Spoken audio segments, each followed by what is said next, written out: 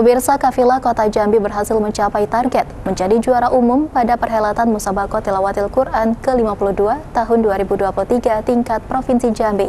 Terkait hal ini, Wali Kota Jambi Syarif Fasa mengaku sangat bangga atas prestasi yang digapai para Kafilah Kota Jambi.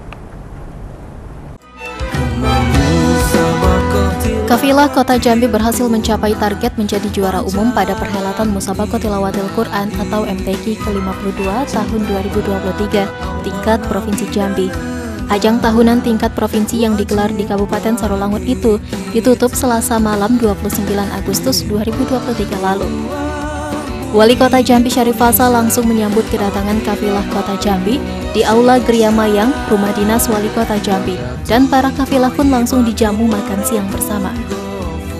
Wali Kota Fasa mengaku sangat bangga atas prestasi yang digapai para kafilah Kota Jambi pada MTQ ke-52 tingkat Provinsi Jambi yang berlangsung di Kabupaten Sarolangun.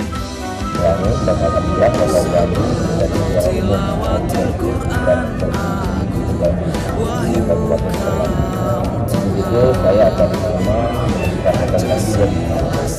masyarakat penyelenggara mengucapkan selamat dan juga serta melakukan apresiasi dan juga terima kasih kepada pasukan penyelenggara yang sudah mengharumkan nama penyelenggara di tingkat kami untuk menjadi pemenang di Selawat Quran tingkat Semoga kemenangan ini akan memberikan motivasi yang lebih baik ke depan dan akan meningkatkan prestasi untuk tingkat nasional secara berjalan dan juga pada para kafilah tadi yang menangkan perlombaan berjalan untuk berlatih kembali yang belum menjadi pemenang juga untuk berlatih kembali lalu di tahun yang akan menjadi pemenang di perlombaan yang lain.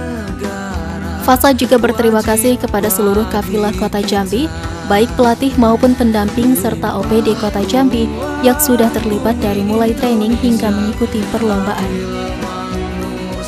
Sementara Ketua Rombongan Kafilah Kota Jambi, Fahmi Sabeki mengatakan, Kota Jambi meraih juara umum pada MTQ ke-52 tingkat Provinsi Jambi ini dengan nilai yang memuaskan.